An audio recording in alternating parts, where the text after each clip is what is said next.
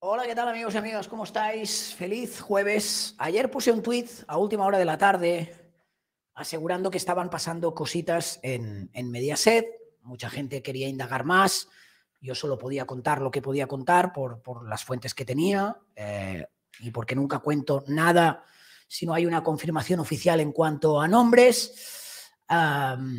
Muchas personas me hicisteis eh, saber eh, vuestra opinión, algunos hablabais de, de, cancelación de programas, esto es más difícil, eh, ahora explicaremos cómo funcionan las cosas, y algunos eh, súper educados eh, me instabais a que hablara de los cambios en, en La Vanguardia y no en Mediaset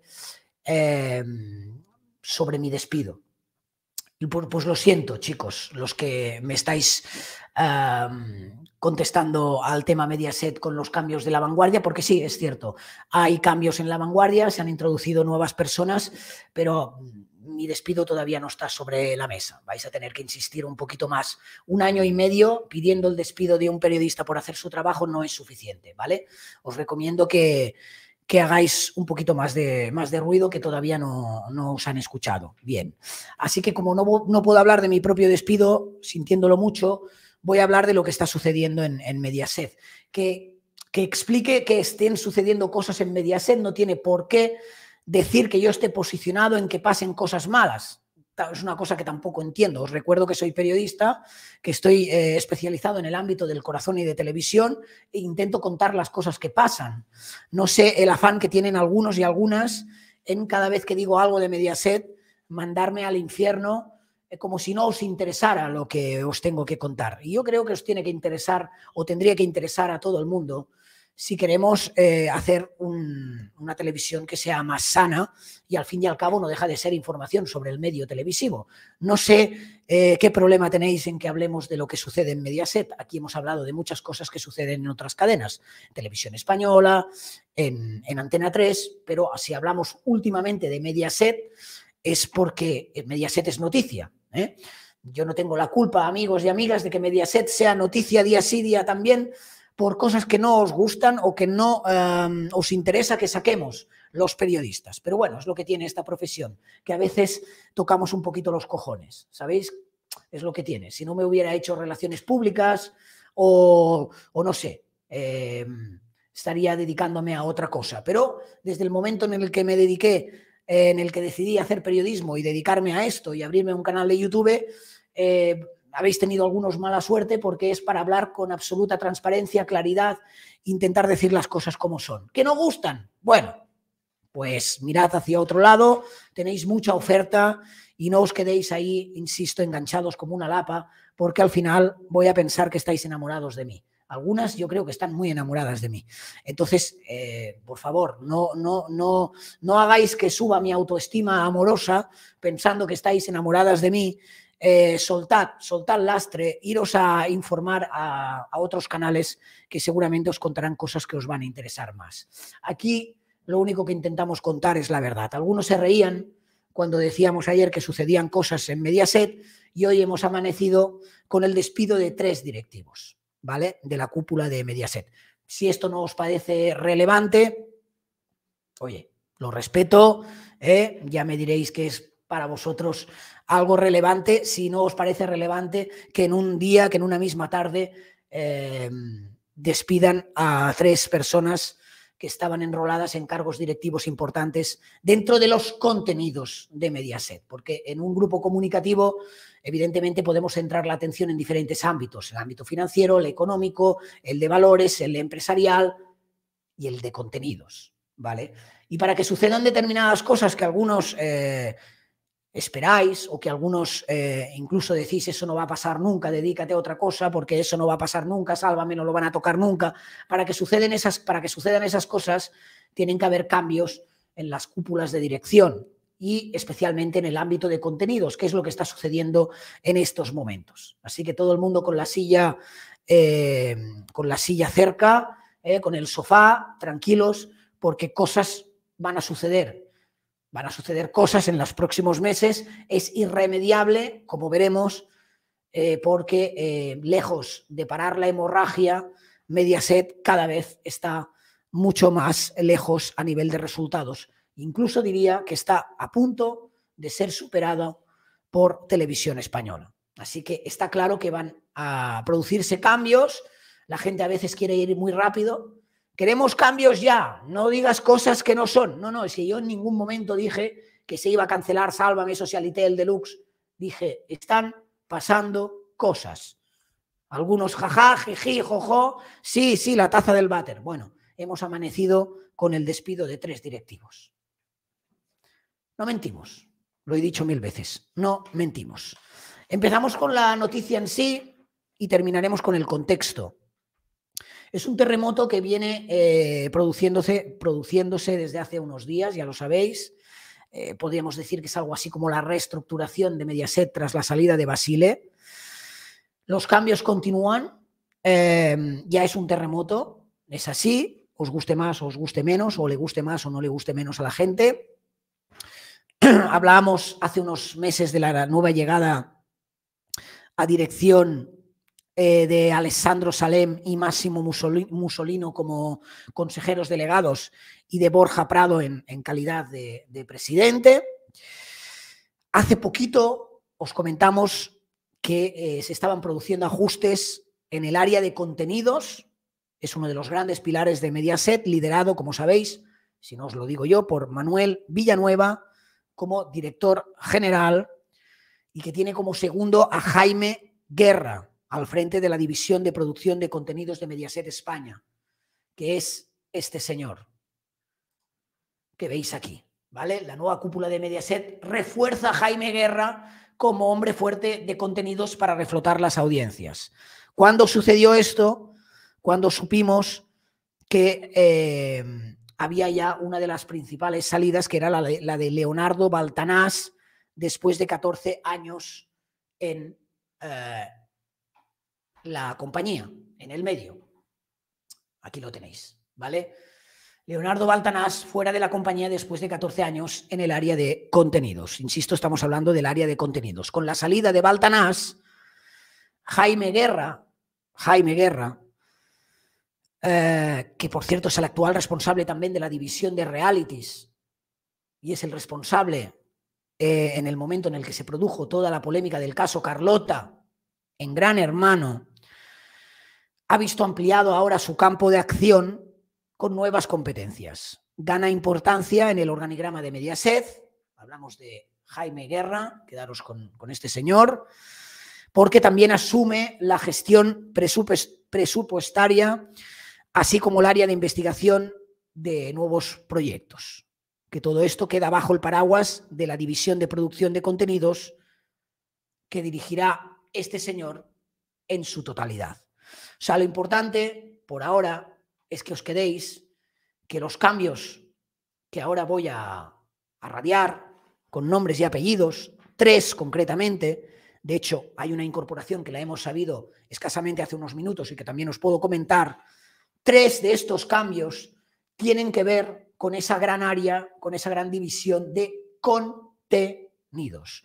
Y cuando os digo que esto es una estructura piramidal, es porque efectivamente para que se produzcan cambios visibles en cuanto a los programas, en cuanto a los nombres o los colaboradores o presentadores, primero tienen que tomarse decisiones a nivel directivo dentro de esa área. Esa área es la que se está reestructurando ahora eh, como un terremoto, porque se necesitan resultados ya, veréis por qué, de ahí que sea para mí noticia que en una misma tarde eh, se fulminen tres personas. Estamos hablando de Mariano Blanco, que hasta ahora era responsable de programas de actualidad, un cargo al que accedió después de haber sido jefe de programas de cuatro. Blanco es uno de los directivos que, que sobrevivieron en su momento a la fusión de Telecinco y Cuatro, producido de la etapa que procedía de la etapa de Prisa, ¿eh? y se mantuvo en Mediaset. Este es el primero en saltar. El segundo, Baldomero Toscano. Baldomero Toscano, que hasta ahora era director de producción de programas en Mediaset. Un cargo que desempeñaba, por cierto, desde hace 13 años. Y también salta Miguel Santiago Vila. Veis que ayer os, dice, os dije, están pasando cosas y hoy os puedo decir nombre y apellidos. Esto lo ha sacado algún medio, ¿eh? Eh, no, es exclusiva, no es exclusiva mía. Yo tenía mis fuentes y sé que estaban sucediendo cosas y que se estaba produciendo una limpieza. Hoy os podemos dar los nombres. Mariano Blanco, insisto, que ya viene de la etapa de prisa. Eh, Baldomero Toscano, 13 años en Mediaset como director de producción de programas actualmente y también se ha relevado del cargo a Miguel Santiago Vila, que ejercía de director de nuevos proyectos desde hacía siete años. ¿eh? O sea, no son cargos cualquiera. Hoy hemos sabido, por cierto, que también os lo puedo comunicar, que Eduardo Escorial es el nuevo director de entretenimiento y actualidad de Mediaset España, básicamente sustituyendo a, Mariano, a Mariano Blanco, pero que dependerá de esa estructura que lidera Manuel Villanueva y donde Jaime Guerra también es como la segunda mano. Ahora podéis añadir este nombre, Eduardo Escorial, que es la nueva incorporación en esta área de contenidos de Mediaset España y será, insisto, el nuevo director de entretenimiento y actualidad, formando parte de esa división de producción de contenidos coordinada por Jaime Guerra dentro de la Dirección General de Contenidos que lidera Manuel Villanueva, ¿vale? Para que todo el mundo estén ubicados. Por cierto, es licenciado en periodismo, Eduardo Escorial por la Complutense de Madrid y empezó sus inicios profesionales dentro del medio televisivo como redactor y guionista en... Eh, creo que fue en Antena 3, ¿vale? Bien, estos son los cambios que se están produciendo en las últimas horas. Al final, si le unimos al de eh, que os he comentado antes, em, Leonardo Baltanás, son cuatro desde el 31 de enero, cuatro los directivos que em, han dejado su cargo en una semana si esto no es un terremoto, los cuatro vinculados a contenidos, eh, que baje Dios y lo vea, ¿no? Es un terremoto que evidentemente será importante a corto, yo diría a corto medio plazo.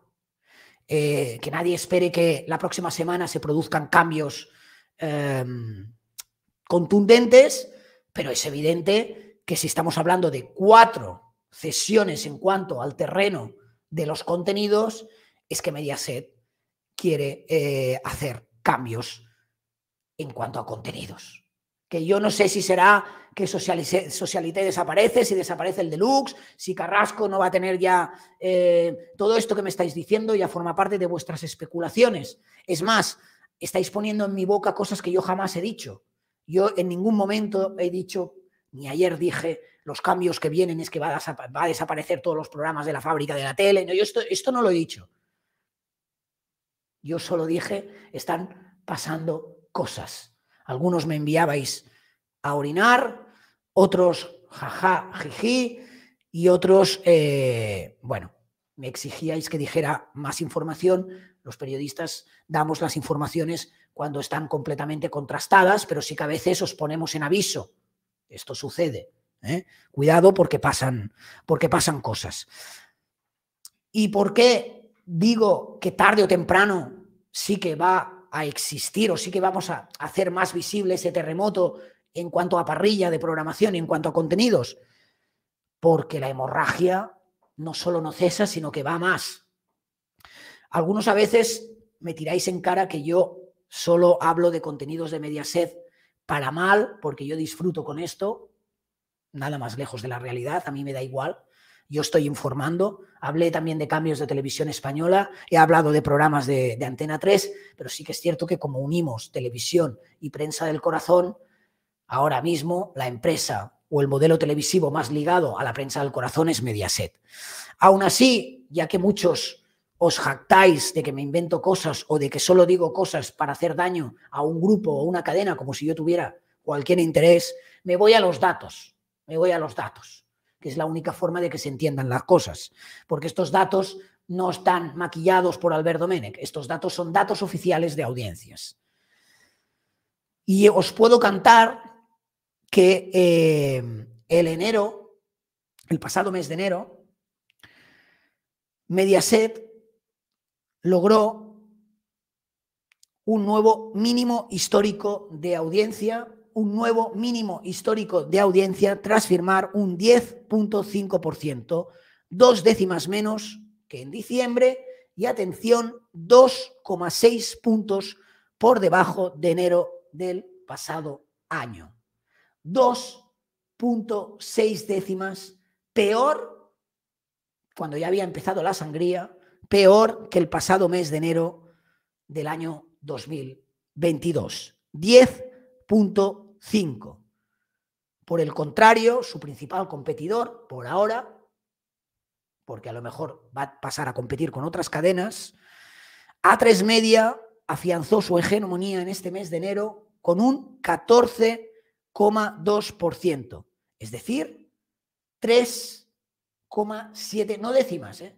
3.7 décimas sobre su rival. La mayor ventaja, por si lo queréis más claro, en 25 años, desde agosto de 2008. La mayor ventaja de A3 Media sobre Mediaset en 25 años. 3.3 puntos, 7 décimas por encima. Telecinco, Telecinco, entramos ahora en cadenas, no en grupo, Telecinco, pierde todas las franjas a excepción de la mañana, con el programa de Ana Rosa, que últimamente, como sigan por el camino que van, eh, no lo descartéis tampoco. Pero bueno, todas las franjas, prime time, tramo de máxima audiencia y el más suculento para los anunciantes, en prime time, anota también un mínimo histórico de un 8.3%, lo que significa la peor marca de una cadena grande en temporada regular. Sería en prime time la quinta opción después de Antena 3, el pago, la 1 y las autonómicas. Esto, amigos, no lo estoy diciendo yo. Lo digo porque cuando hace meses, desde aquí decíamos, la hostia que se va a llevar Mediaset y Telecinco como continúe así, la dependencia de Rocío Carrasco. Y entonces salían voces, qué rabia os da, Rocío Carrasco, la reina de no sé qué, el Sálvame Deluxe, el rey de no sé quién. Salían los propios presentadores a decir, algunos nos quieren muertos, pero Sálvame tiene correa para rato. Y además sacaban pecho. ¿eh?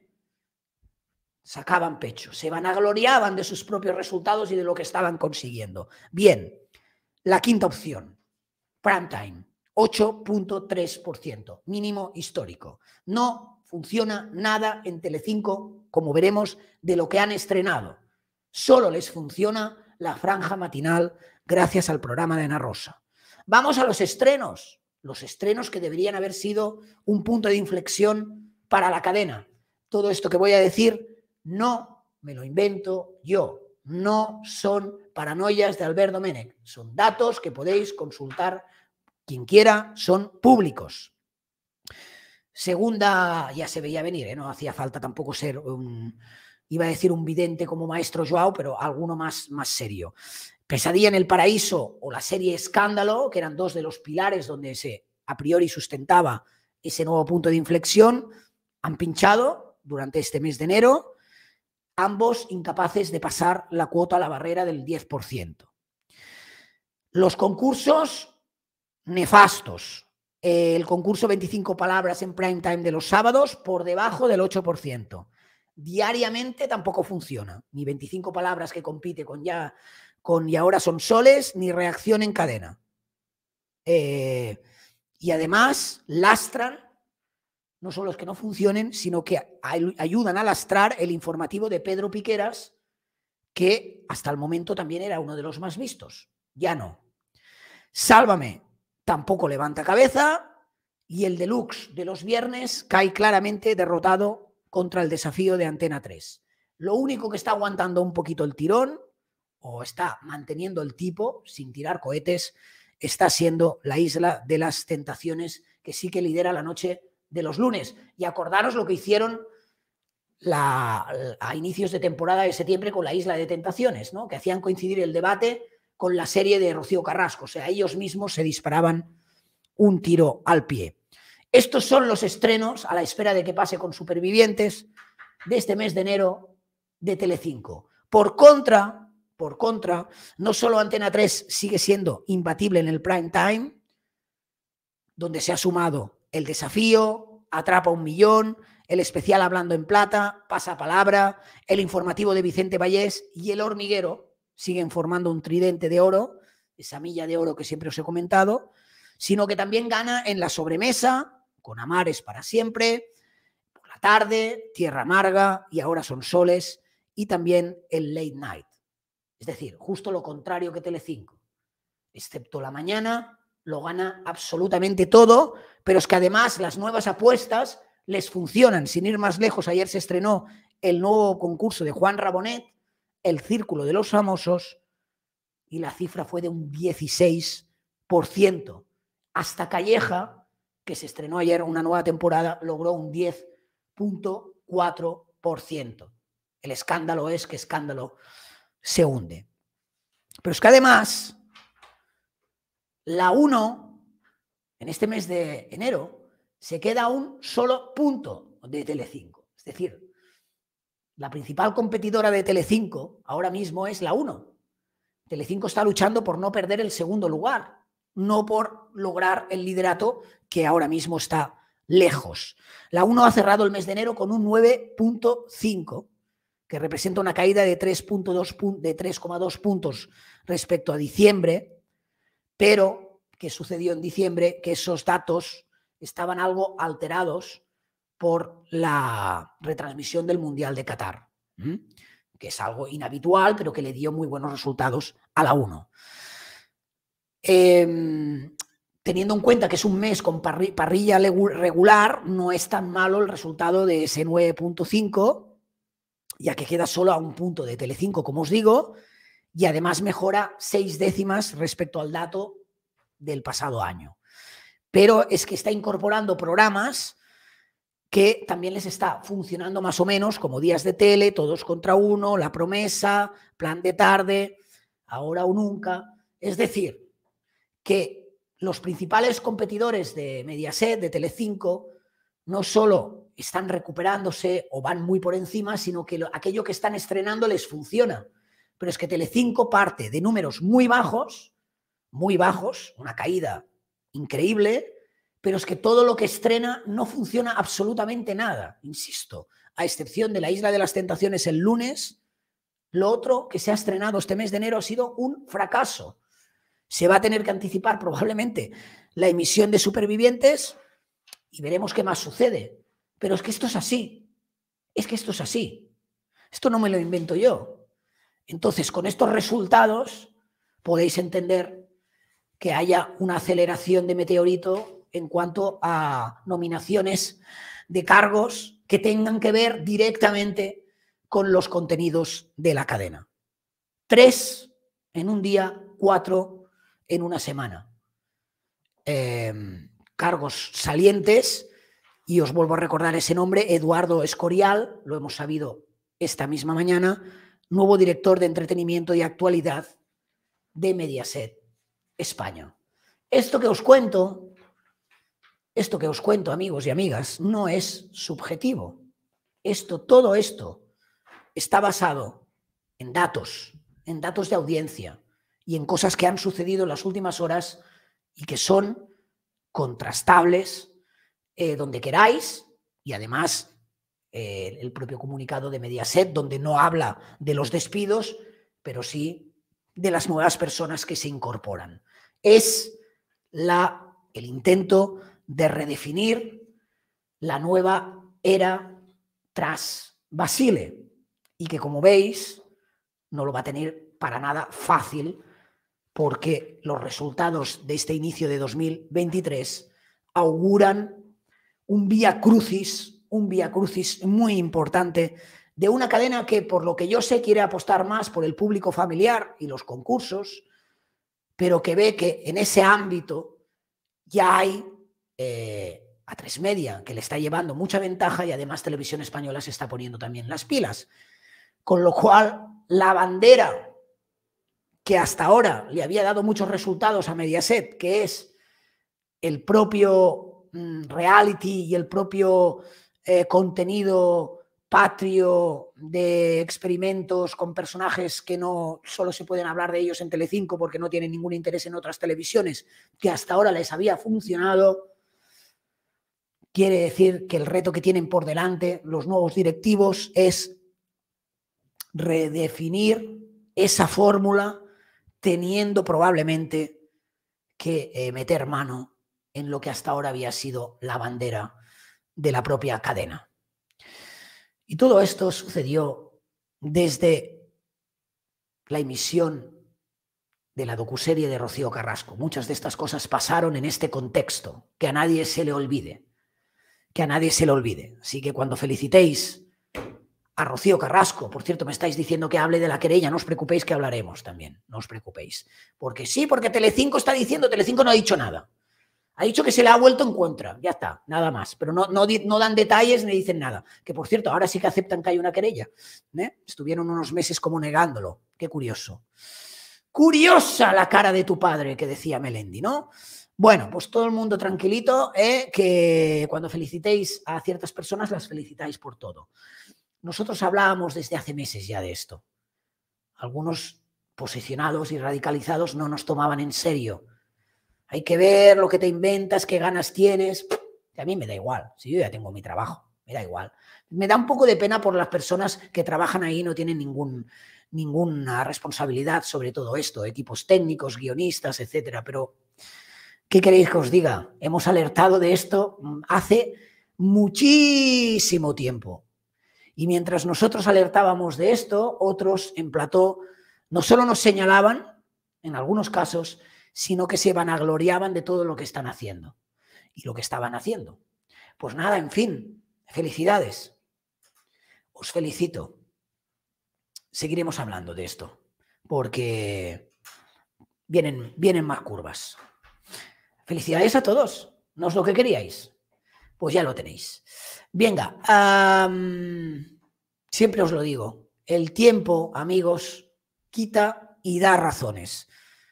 Y nosotros tenemos la suerte de que el tiempo nos ha dado muchísimas razones, muchas.